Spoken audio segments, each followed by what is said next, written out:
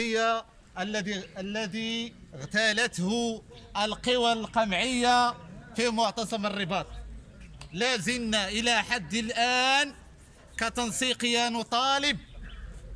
نطالب ونقولها ونكررها بمكامن دواعي مقتل هذا الشهيد.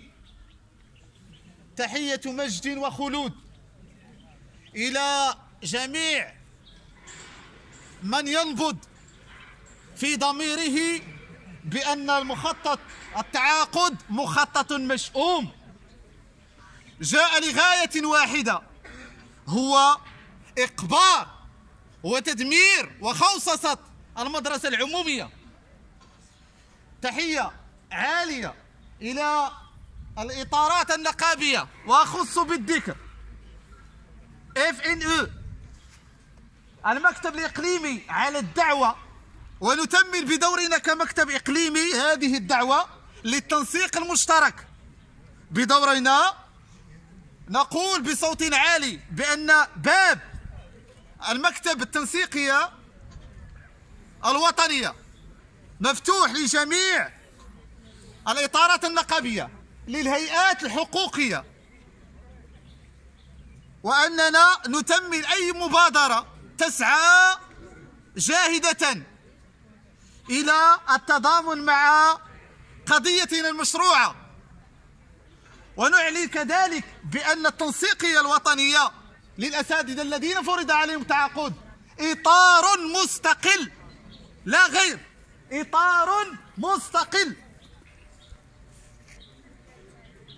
هدفنا واحد ومنشود هو الإدماج في أسلاك الوظيفة العمومية وإسقاط مخطط تعاقد. وكما يعرف الجميع أنه يأتي هذا الشكل النضالي أمام المديرية الإقليمية العرائش تنزيلا للبيان الوطني وإتمامه بإضراب بخوض إضراب وطني أيام واحد واثنان وثلاثة. من دجنبير ولا بأس أن نذكر القواعد الأستاذية. بأن فحوى ومضمون هذا البيان الوطني يتجلى في تجميد جميع الأنشطة التطوعية وجميع أنشطة الحياة المدرسية وجميع اللقاءات التكوينية للمفتشين وليس الزيارات الصفية. نتحدث عن التكوينات. المفتشين وليس الزيارات الصفية. ثم الانسحاب الفوري من جميع المؤسسات.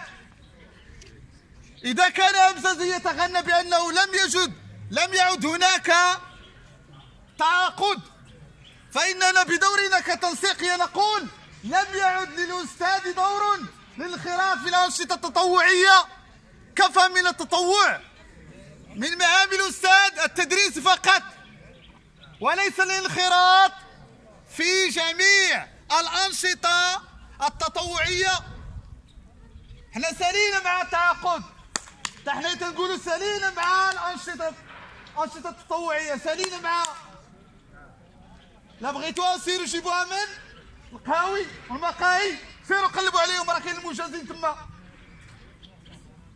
ثانيا أقول واكررها كنا ننتظر من المدير الاقليمي أن يسمع صوتنا الحر صوتنا من أجل الاجابه عليه كنا ننتظر من المك... من المدير الاقليمي ان يسمع هذه الاصوات الحره فاذا به ها يتسلل هاربا هكذا نتعامل مع الاصوات الشغيلة التربوية. هكذا نتعامل مع المناظرين ثانيا لابد ونقولها ونكررها لابد من تفعيل لجنة التواصل واللجنة القانونية والتواصل للمديرية الإقليمية أستاذ زريوح ننتظر والشغيلة التربوية والمكتب الإقليمي ينتظر منك. عفوا إشعار أو منحهم إشعار بالاقتطاعات لأن هذه الاقتطاعات الجزافية لا نعرف مضمونها لا نعرف فحواها لا نعرف أسباب ودواعي هذه الاقتطاعات الجزافية ننتظر كمكتب إقليمي. ننتظر فحوى ومضامين تلك الاقتطاعات. ثانيا بأن هذا الشكل النضالي الوطني ما هو إلا دفاع وتحصين على المنسقين. لأن هناك تضييق على المنسقين ولعل الدليل خير دليل أستاذي الدار رشيد عضو المكتب الإقليمي للصفرو وعضو اللجنة القانونية.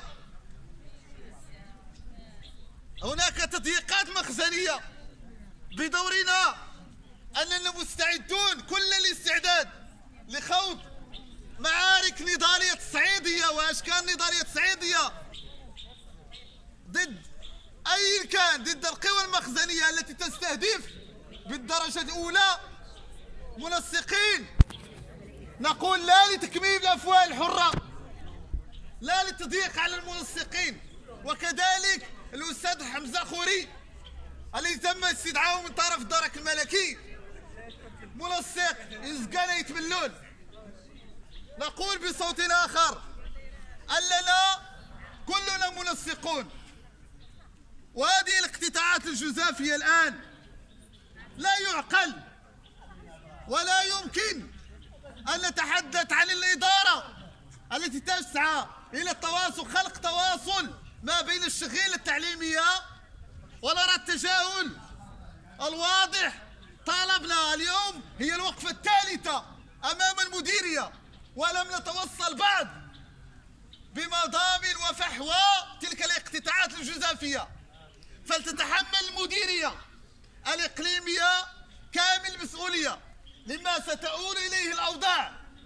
وقادرين على خوض يعني أشكال تصعيدية في حالة تمادي الاقتطاعات. كما نقول بأننا اليوم كمكتب إقليمي لكل إطارة النقابي أعلنا التمرد ورافضين التعاقد. خط التعاقد المشؤوم وإدماج كافة الأساتذة والأستاذات في أسلاك الوظيفة العمومية. إدانتنا للاقتطاعات الجزافية التي تطال رواتب الشغيلة التعليمية. مطالبتنا الوزارة الوصية بحل فوري لقضية لقضيتنا المشروعة. لأن قضيتنا على الأبواب. ونقول بأنه القرار القرار سياسي القرار قرار قضيتنا قرار سياسي بالدرجة الأولى.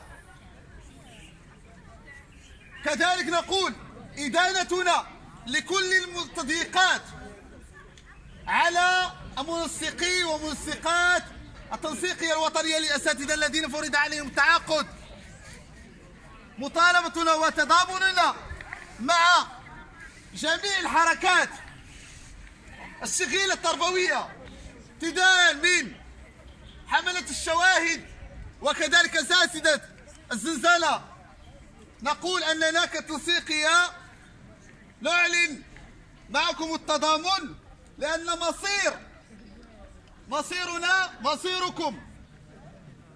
ثم نقول في الأخير ونعلن لجميع الإطارات النقابية الإقليمية بأن باب باب المكتب الإقليمي مفتوح لجميع الإطارات النقابية.